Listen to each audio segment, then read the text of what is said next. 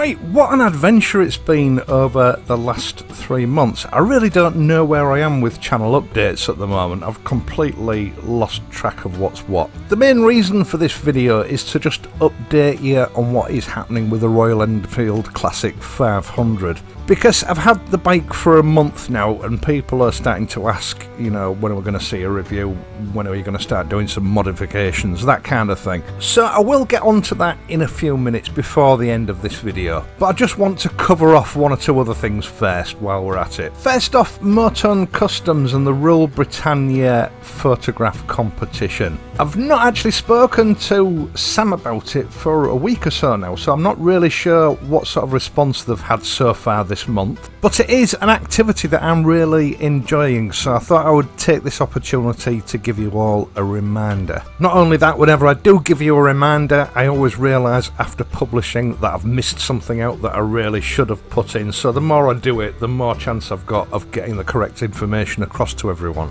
All photograph entries should be sent by email to sam at Motone Customs via the email address that I will leave in the video description down below. And your competition entry should be entitled Uncle Stew's Photo Comp. That's a bit I keep forgetting. Now, this is quite important because Motone Customs are sent photographs of customers' bikes all the time, and it just helps Sam to identify which photographs are for the photo competition and which photographs are from people that just want to share photographs of the bike. That's the reason for that. He did mention something about a dedicated email address for photograph competition entries, but as far as I'm aware, nothing's happened on that front as yet. Now, the rules are that any motorcycle can be entered into this competition but it must have at least one Motone Customs accessory fitted and it must be clearly visible in at least one of the photographs that you enter and you're allowed to enter up to three photographs. Those three photographs must include at least one full-length photograph of the motorcycle and all photographs must be taken in landscape mode, not portrait mode. Now, the rules on this particular June photo competition have changed slightly. As some areas now have more freedom, you can take photographs of your bike whilst you're out and about on rides. But we do ask people to be responsible. Obviously, the social distancing thing is still very important at the moment. So, for the purposes of this competition, we ask that you do not take photographs where members of the public are in sight.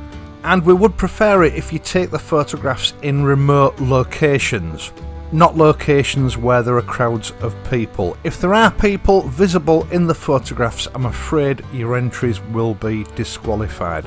Now, for those of you that are still on lockdown, you are still free to go ahead and take lockdown photographs on your own property you are not being excluded from this photo competition. Hopefully, I've got all the relevant information in this time, fingers crossed. Now, Motone Customs are offering a very generous prize pool for this competition, which seems to expand every month. Although I can't guarantee that's going to continue.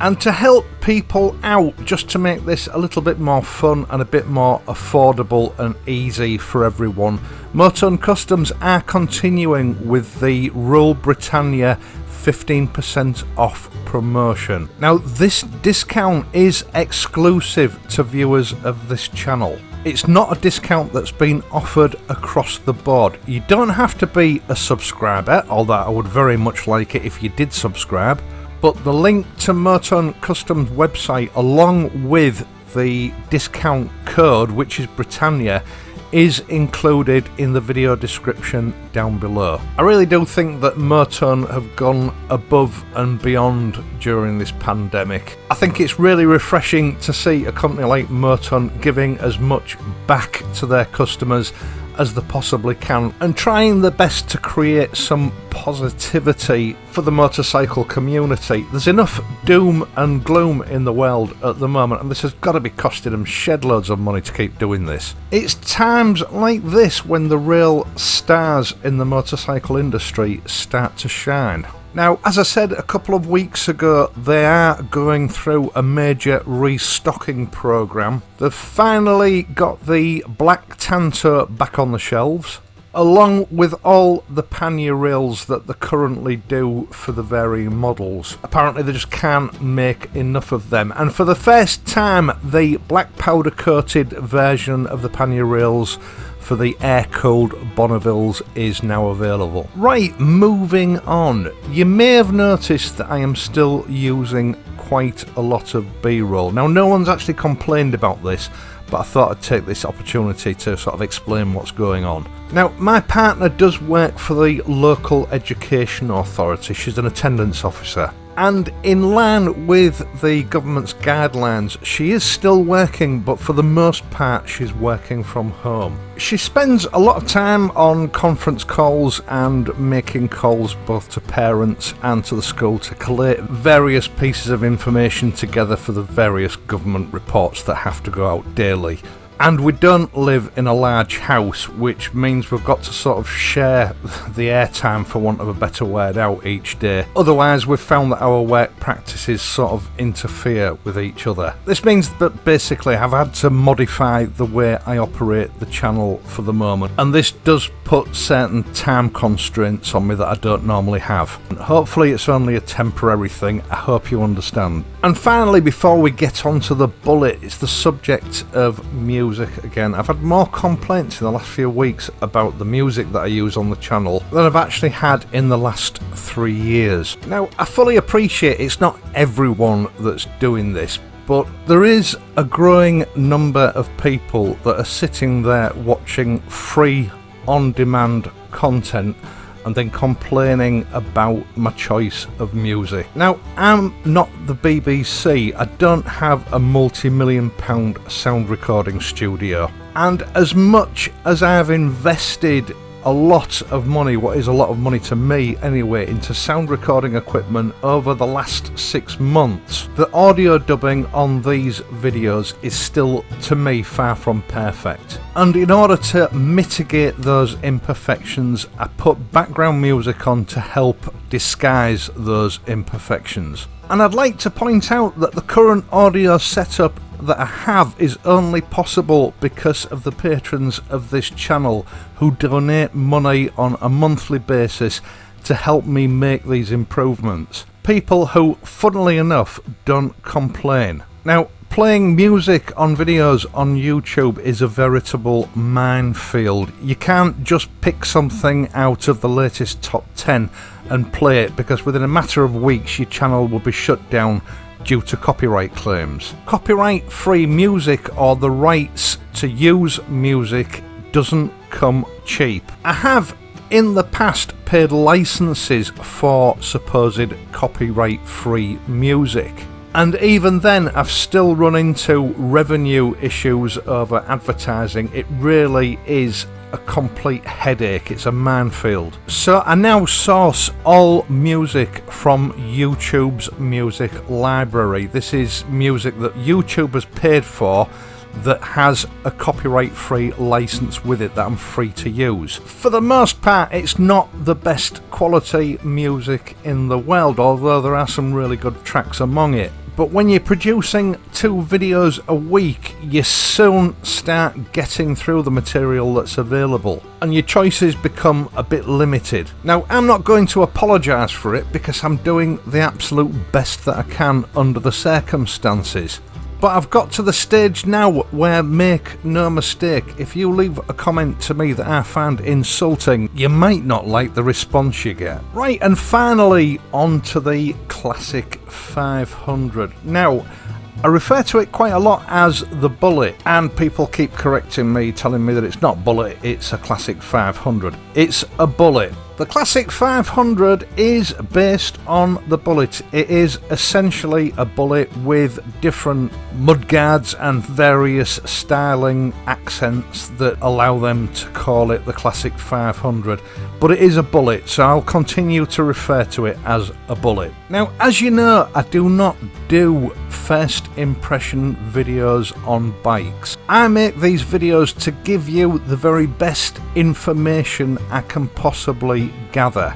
And I've always found that first impression videos are at best inaccurate and at worst very misleading for people. So what I intend doing with the bullet is a series of reports. The first of those reports starting at the 300 mile mark, my experiences of the bike as it started to run in and how the bike matures as miles are put on it. Now there's one thing that I've identified through watching other first impression reviews as I've ridden this bike and that is that the idea of the amount of vibrations you get from this bike is routinely misrepresented and I think this is because they are just first impression videos and in most cases those bikes are very new. All singles when new pre-braking will exhibit far more vibration than any other multi-cylinder bike but you can tangibly feel the vibration lessen more and more with each ride that you take. And I am quite positive that this is something that first impression reviewers are oblivious to. I've seen quite a few reviews where the reviewer has basically been one of the first people to take the bike out for a ride. And for the first 100 miles, vibration is really, really noticeable. I put 300 miles on the Bullet now, and once you get past the 100 mile mark, the bike becomes a different animal.